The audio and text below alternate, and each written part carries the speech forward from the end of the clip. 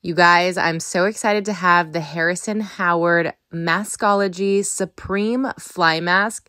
You guys, you can see Edward is wearing it in the background, and Prince is in must need of his fly mask. This mask is incredible, not only because it is durable, UV protection, has some great extra straps to it, but what's also super important for me is that it has an extra extension around the horse's eyes.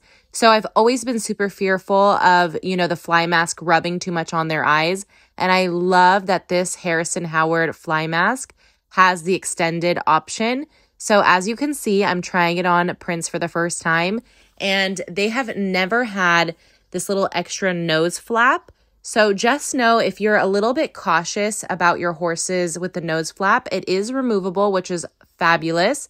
And which I really love is that they can wear this 24 7 if necessary, since the mosquitoes do get super bad